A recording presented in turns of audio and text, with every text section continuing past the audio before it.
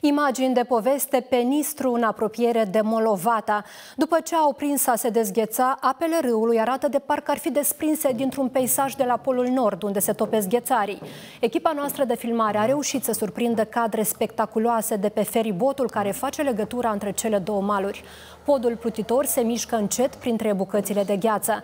Priveliștea devine ireală, mai ales când râul este învăluit de ceață și nu se vede țărmul. Povestea este întregită de stolurile de rațe și lebede care plutesc grațioase pe apele rece ale Nistrului.